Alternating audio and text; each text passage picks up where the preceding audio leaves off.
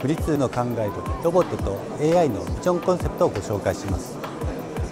これからはロボットが皆さんの身の回りで活躍する時代となります。富士通はメタワークと AI 技術によりさまざまなサービスを提供していきます。今回その一つの利用シーンとして富士通フォーラムのナビゲーションをしています。このメディエーターロボットロボティは B コンタクトと連携してお客様一人一人へのおもてなしをしています。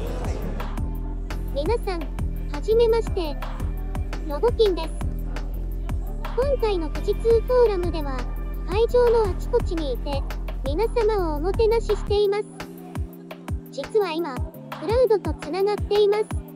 だから、会場の中の情報を把握していますし、お客様のご登録いただいた情報も分かっています。それらをもとに、お客様、一人一人のおすすめをご紹介します。